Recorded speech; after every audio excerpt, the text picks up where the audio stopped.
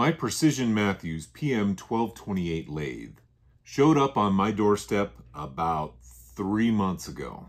Due to some surgery that I had, I just now got it set up. Now that I have it on the bench, let's take a look at that machine. Let's look at some of the features that it has. And we'll give you a little information on what I had to do to get it moved from my garage into my shop and up on the bench.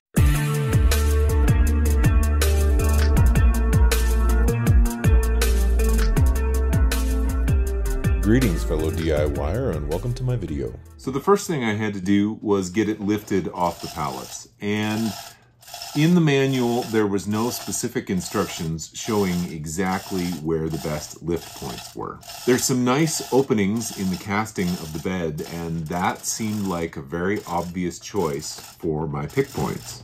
So I threw some straps in there and got it all set to go and started to go up with it, and immediately the lathe started to roll. I knew that I needed something to stabilize it more. My solution was to lift the lathe just enough to get the mounting brackets installed. And then I was able to sling it from one of those mounting brackets. From there, I was able to lift it up off the pallets, get the pallets out of the way, and then set it down on a rolling cart that I had made. If you are at all familiar with the videos on my channel, especially those pertaining to my machining equipment, you would know that that is my mill. Over in that corner, we have what was formerly the home of my DIY mill, which was the mill head off my mill lathe combo. And over here is where the mill lathe combo lived before it was separated into two pieces, and then just as a lathe after it was separated into two pieces. Prior to moving my new lathe into its new home, I had to build a workbench. And I extended it from what I had over here. I used treadmill tracks just like I had when I originally built the workbench for the mill. And I actually took the top off of the workbench that was there in the corner and replaced it with treadmill track so that I have a nice uniform workbench surface the entire way. Once we got it rolled into the shop, a cherry picker was used to pick it up and set it down on the bench. We got it set down. When we picked it up and put it on the bench, we actually used two straps, but I had to lift it with a single strap to get the first strap out because it was actually underneath the legs. I wish we had video of showing you how it actually went on the bench, but this is a small space and honestly, it was kind of a pain in the butt getting it picked in such a way that it was level and that it wasn't rolling front to back was super challenging. Ultimately, we ended up attaching to the legs there and there, making sure they were secure and using that strap on that end. And then this strap is in the position that it was in.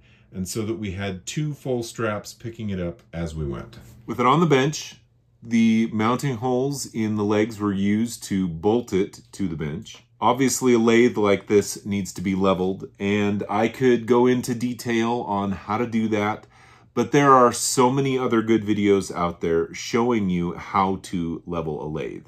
This lathe came with a turret style tool post holder. Thankfully, when I got this lathe from Precision Matthews, it came with an AXA quick change tool post holder. I could spend a bunch of time showing you how I installed that, but the reality of it is that was pretty straightforward.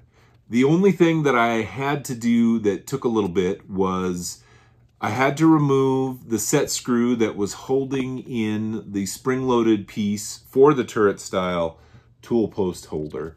And then there's also a set screw on the backside of the compound that actually binds into the teeth of the shaft coming up out of the tool post holder. That has to be loosened and then at that point you can easily remove the shaft that was part of the tool post holder and install the shaft for the AXA style tool post holder. From there, it's just as simple as putting your favorite cutting blade in an AXA type quick change tool holder and getting it lined up so that it is dead center on the piece that you were working or dead center to the concentricity of the lathe.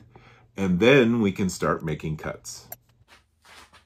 So let's go over some basic features and basic functions of this PM 1228 Precision Matthews lathe. This is your on-off panel, directions, speed, all those kind of things, emergency stop. We'll turn all that on in just a minute. You have your gearbox here, which allows you to set up for threading without having to change most of your change gears. Now this lathe did come with a set of change gears and there are options to change stuff out, but most basic threading can actually be accomplished by adjusting these knobs. That's kind of a nice feature. I was planning on putting an ELS on this lathe before I got it, but because of the fact that it has the gearbox and I am able to adjust those kind of things, I may not end up putting the ELS on it. That remains to be seen. It just depends on how it ends up working once I've played with it and done some threading using this gearbox. Obviously, we have the chuck. This unit uses a nice D1-4. Comes with the three-jaw self-centering. I also got the independent four-jaw to go with it.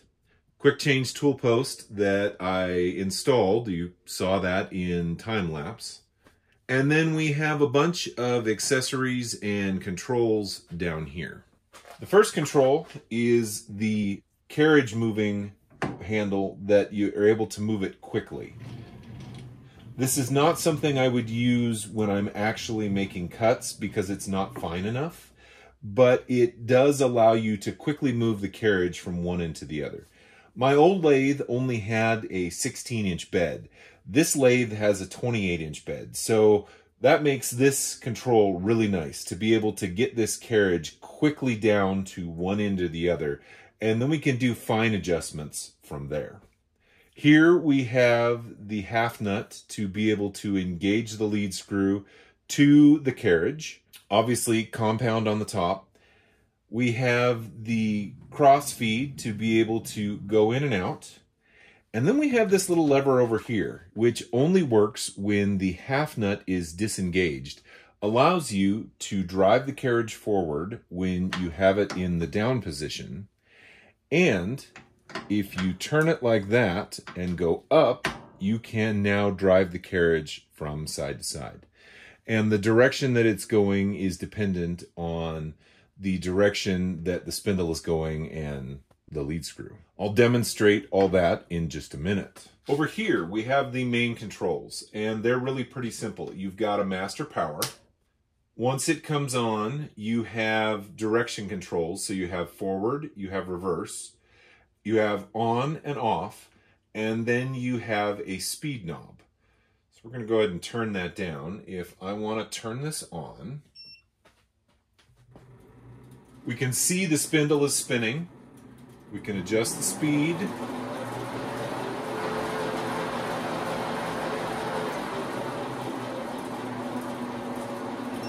can turn it off. Obviously, this is an emergency stop to cut the power to the system in an emergency situation. All you have to do is hit it. You can see the lights just went out there. One thing that's nice about this is you can hit forward and reverse on the fly without damaging anything. So if I turn this on, turn it up, if I hit the reverse button, it'll come to a stop and then spin the other direction. So you're not damaging anything.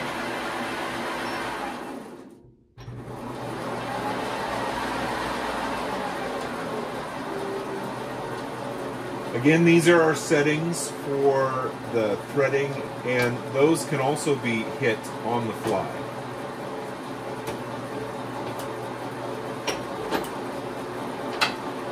Precision Matthews doesn't recommend changing these knobs at high speed, but at low speeds they change without any issue. All right, let's go ahead and turn that down.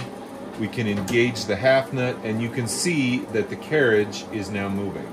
So let's make some chips. I have a piece of aluminum chucked up in the lathe, ready to go. Let's get the blade close and see what we can do here. All right, let's go ahead and face this. We're gonna start by turning it on. So the half nut is disengaged so that we can use the X and Y power feed on the carriage. And it's just as simple as pulling the lever down and it begins to feed.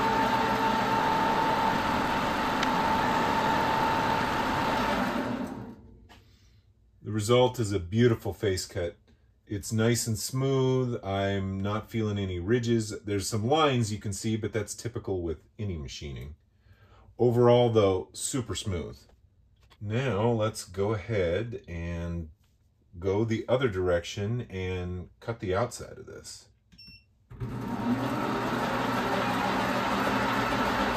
Same thing, we're going to use the power feed knob we got to rotate the knob 180 degrees and then come up and it begins to feed.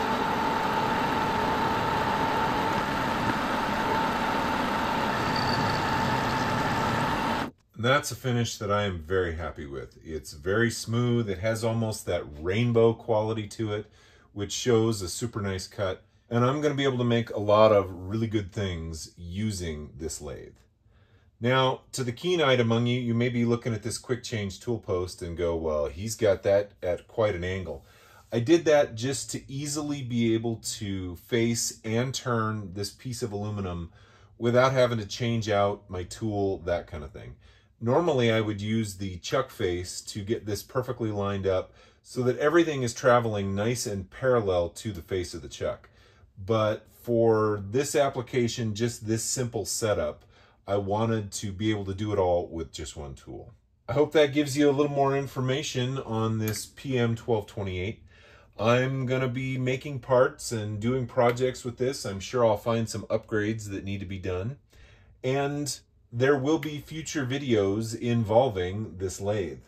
If you have any questions, don't hesitate to put them down in the comments and I will do my best to get them answered. If you like what you've seen, please click like. If you'd like to see more, please subscribe. Thanks for watching.